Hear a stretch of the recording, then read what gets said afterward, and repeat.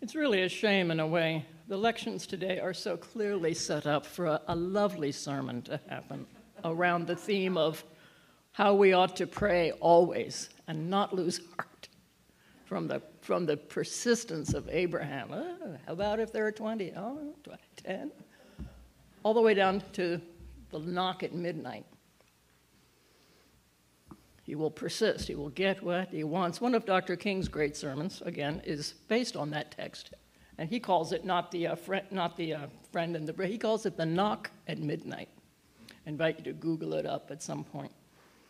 Alas, I was not drawn in the direction that, that the lections might have drawn another preacher this morning.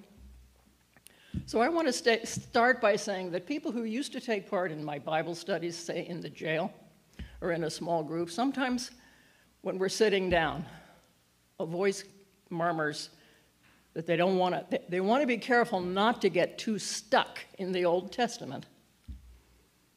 And I have sometimes wondered, maybe the Gideons wonder also, I have sometimes wondered if they do the right thing to produce only the New Testament in their wonderful pocket Bibles. Um, jail inmates were given to saying, That's okay, chaplain. I only want the New Testament anyway. No, I think in the short term, that is perfect, fits in a pocket. And the long term, it is a mistaken plan, I think, because, well, not even a, accounting. Let's lay aside for a moment the sheer love and deep, deep gratitude that a Christian should have for the Jewish people who led the way and who were chosen to bear the Messiah. Um, there are plenty of stories in the Old Testament and many points to be made, and, and Christians do well to go there and, yeah, get stuck there for a while.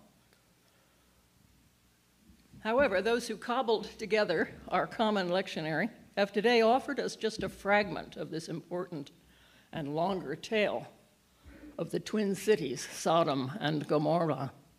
I propose to yank that fragment out and kind of pick it apart our Lord Jesus, of course, knew the story of Sodom and Gomorrah, as he knew all of Genesis. He was a good scholar in Hebrew school, no doubt. He knew all of Torah and the later prophets. But those with eyes to see will notice that when Jesus spoke about the extreme wickedness of these cities, he did not refer to the sin of these cities having anything to do with there being any gay men living there, if such there were. He did not seem to think that was the great sin of these cities, and so why should I? Why should any preacher? We should not want our Bible reading to be selective. We don't want to. We don't want to uh, ignore, for example, let's not ignore, let, us not ex- ignore the repeated and repeated and overwhelming preponderance of the prophet's warnings about ethics, ethical conduct, especially warnings concerning the gap between rich and poor in their society. Especially, we ought not to ignore the Bible's reflections on the presence of the poor, the weak, the stranger, which is the same word as foreigner, as outsider in the old language. Now, I want to, here's a little list of let's nots. Let's not ignore what is plainly God's concern for all those marginalized and vulnerable people so that we can instead go chasing down a half a dozen verses out of some 31,000 verses in your Bible. Yes, I counted. there are 120 chapters. When's the last time you read a book that had 120 chapters? Let's not leave the large message aside so that we can chase down these short um, bits in a standard Bible. Some of those few are badly translated also, and they are so scattered that at times they can seem like random assertions. No, and especially, let's not do that hobby. In order that we can rush away to denounce people, to persecute, to grasp at the fearsome prerogative of God Almighty, and try our own puny selves to decide to exclude entire populations of people from God's kingdom dream. Let's not use Bible stories as screens to project our own negative values and justify them. See, I told you, it's in the Bible, it's in writing. They wouldn't be allowed to print it if it weren't true. no, let us not dodge around the main issue by appealing to our naughtier selves. Always itching to state to our own state of grace, to, to judge that to be righteous. And you know, it seems not enough to win, others must lose. It's not fun unless somebody's getting hurt, you know? I'm sorry that that is how we so often are. The gifts that our Creator has given us discernment to become wiser people, we hope, discernment and skill to build up and to improve things, love with which we should build one another up. Forgive us, Father God, that we, we use these things in the ways that we do.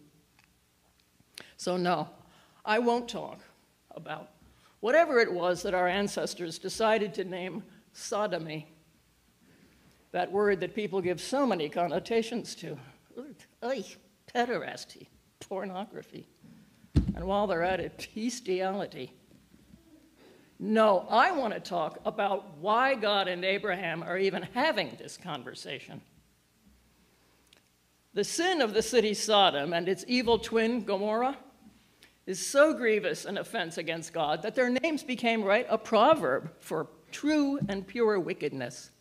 They were so evil that many centuries later, the Lord Jesus could still use Sodom and Gomorrah as a comparison when he was denouncing the attitude of, say, Jerusalem, refusing its prophets. And in that desert and hostile surrounding, when the most basic understanding was that water and rest, a meal, shelter was always to be offered the traveler, there were towns that refused hospitality, refused to welcome and feed, and refused to give lodging. Jesus would say to those towns, No doubt about it, your sin is worse than Sodom's sin, worse than Nineveh, that evil city. And you will remember, Nineveh had at least had the grace to repent of their evil. God tells us in this reading this morning that God will now go down there and see for himself.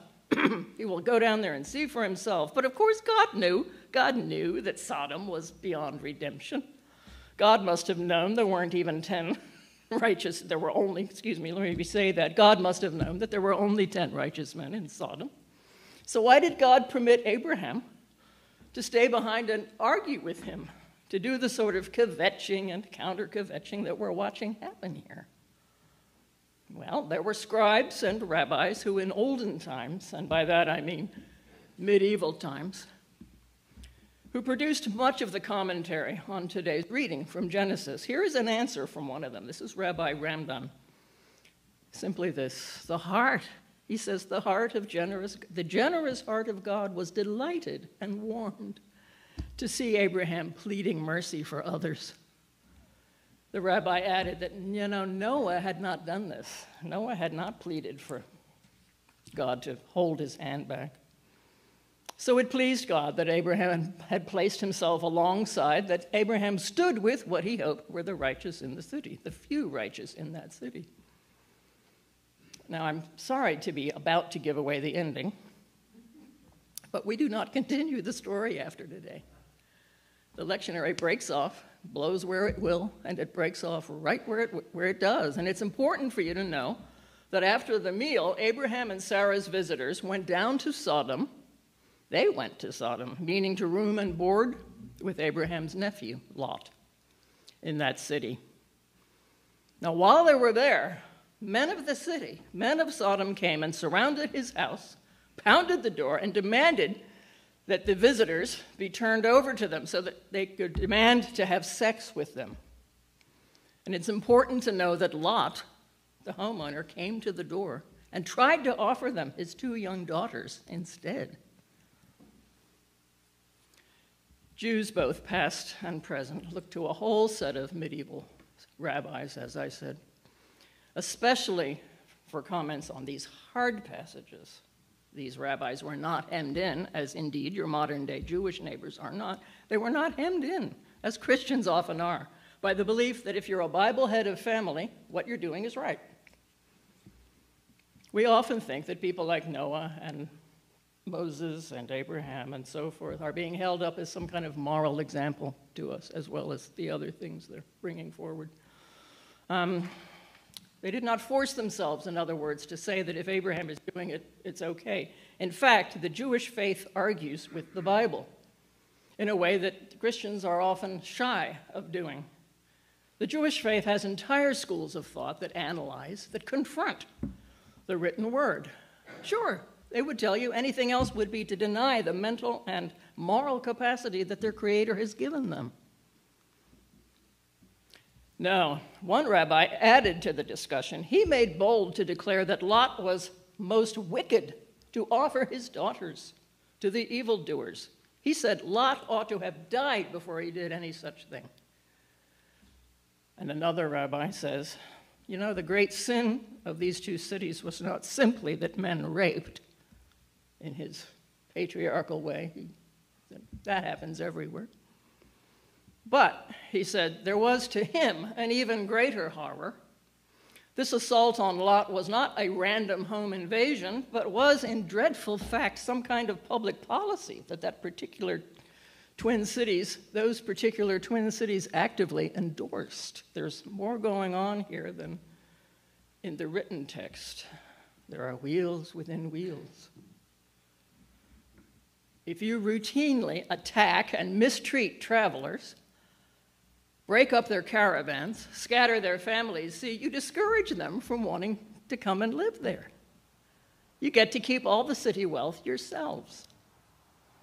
So the city of Sodom, he interpreted, the city of Sodom wanted this reputation. They meant, they intended should others, that others should take note, should fear them, and should pass on, please, don't stop here. And in fact, why don't you go back to where you came from? All of these rabbis know the word of the prophet Ezekiel much later. He was speaking in a different time to a different city, quote, What, after all, was the sin of your, sis- your sister city, Sodom? What was its sin? Was it not that she was haughty? She was full to the brim with pride, prosperously at her ease, filled with plenty of food, and yet she did not aid the foreigner, the poor, the needy. Unquote. Now, note the wording, brothers and sisters. Nothing is said about liking them Nothing is said about being friends with them or agreeing that they are marvelous, attractive fellows. Okay? There are going to be times, maybe lots of times, when you aren't going to like the people you're helping. But like your family, when you're mad at them, they need feeding anyway. Altruism. Let me back up, please. May we stand with a great German thinker, Reinhold Niebuhr altruism is not enough. Sympathy isn't enough.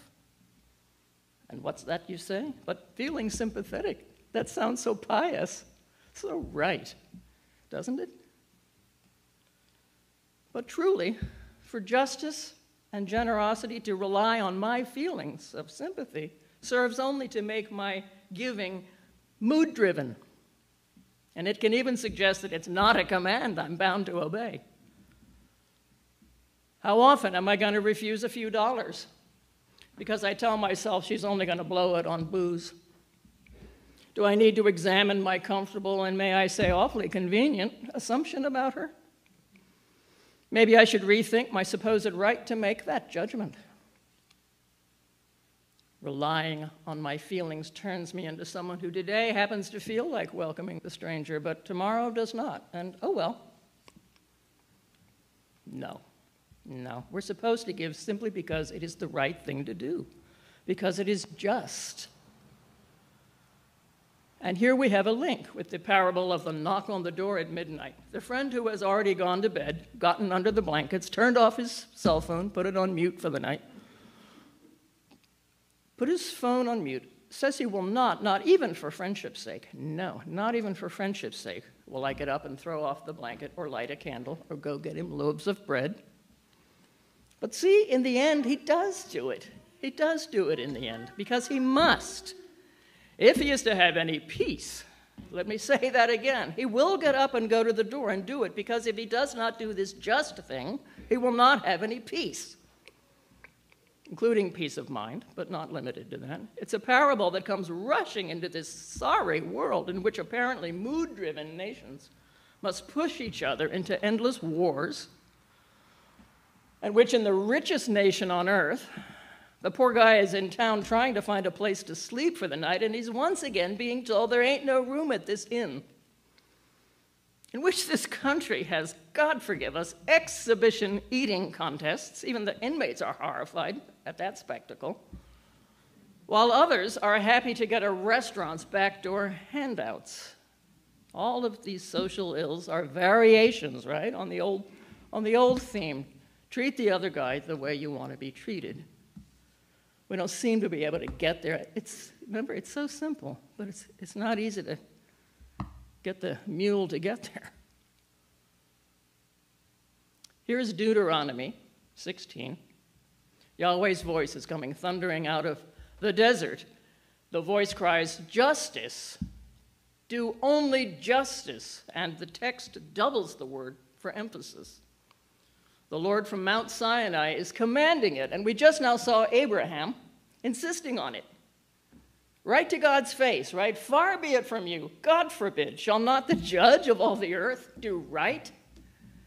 Father God, think of justice, think, think of your name's sake, think of your reputation. Think of what those who don't already worship you are going to say. They're going to say, So, the all just God of the Hebrews does sweep away the righteous along with the guilty. And here is a link with Jesus' care, shared this care for the name of God, for the honor of God's name. And it has been complicated up to this point. Okay? Fixing the social ills requires study, requires cooperation. Um, but hallowed be your name. Hallowed be your name is the very first petition in the great prayer. Shall not your name be blessed? And what to a Christian is the clearest, most transparent way to hallow God's name? Father God, we want to be like Jesus. We want to worship you and be like Jesus. And whenever we do succeed in uh, surrendering ourselves to worshiping you in the beauty of holiness, whenever we do that, we will turn toward his light and it will help us grow into a good, good posture towards our Creator. We will become more like Him. Just like, once more, dear friends, if we worship political parties and flags and emperors' standards, we will turn toward them. And we will become partisan and militaristic. If we worship money, we will become banks and cash boxes, like old Scrooge and Marley. If we worship superficial personalities, our talk is going to become awfully superficial, as I think we're noticing. If we worship safety and security, our lives, like our homes, will cease all hospitality, and our homes will then have become fortresses of solitude. Let me finish by offering the brief wisdom of one of our visiting ministers in the jail. Barbara, I'm going to let Shannon have the last word this morning. She often engages the inmates on the simple subject of being more like Jesus. She describes Jesus in the Gospels, walking around and dealing with people. She talks about the two loves. She means at any one moment ahead of you, there are two loves worth struggling for. There were always two loves in the heart of our Savior one, love for God the Creator, the giver of life. Two, the person you are with right at this moment. I pray that with God's loving grace, it might become second nature to us to recognize the two loves every time. Father God, increase and multiply your mercy. Is that the collect today? Increase and multiply your mercies upon Christians and upon other godly people and upon all honest men and women of goodwill. Give us your good help. Give us your good help so that we might manage and pass through all the matters of this world as you would have us do, for we really want to, we really do want to play this game your way. And let the people of God all ask that in, in Jesus' name. Amen.